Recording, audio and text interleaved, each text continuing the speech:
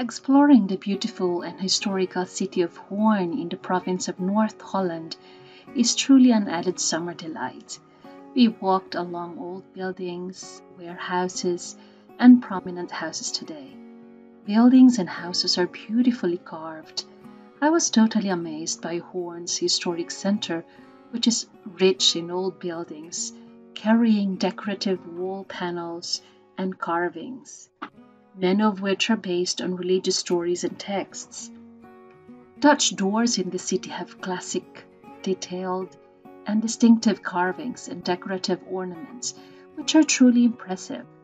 And there were many of them along the churches and monumental buildings. Even in normal houses. Doors are rather small and narrow, but they have very charming details on and around them these doors alone are already an attraction in Hoorn. Restaurants and waterside cafes scattered throughout the city. Absolutely everything in this little city exudes the prosperity of the 17th and 18th centuries. The city square is quite busy today. We were lucky to find a comfortable place and enjoyed a typical Dutch lunch at the Waag restaurant. Great spot indeed. The restaurant looks like a typical old Dutch tavern with old and authentic huge weighing scales hanging from the ceiling. It's good to, to meet the friendly waitress who told us that this was used as a weighing house from 1609, where Dutch cheese was weighed for centuries. Interesting. Another historical monument in this little city.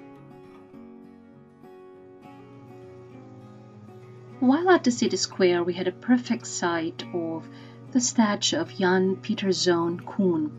He was an officer of the Dutch East India Company, commonly known as VOC in the early 17th century. According to history, he, he had two terms as Governor General of the Dutch East Indies. This bronze statue was erected in 1893 in Hoorn. Fortunately, you are still able to see today this bronze statue of this very controversial 17th century trader since last year in June, demonstrators claimed and expressed disdain for glorifying him being linked to genocidal practices and slavery during those times. Um, the statue still stands proudly up to this time on the port city's square. Another monumental building which houses the Golden Age Museum is the Westfries Museum. This is home to a large number of objects related to the history of the city of Hoorn, applied art, archaeology, militia, and trading. Too much to see, too little time to spend on this one day visit in Hoorn. Our leisure walk brought us to the harbor area where we enjoyed the fascinating sight of a variety of sailing vessels in different sizes and forms. We also encountered the ship boys of Bontekoe. These historical statues of three boys are prominent figures at the harbor, situated close to the Great Defense Tower from the 16th century. Further down the harbor, we had a perfect view of the front side of Hoorn's most significant landmark.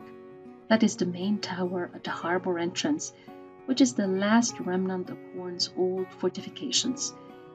It was said to be built in 1532. I tell you, Hoorn is truly an ideal place to visit for a touch of history.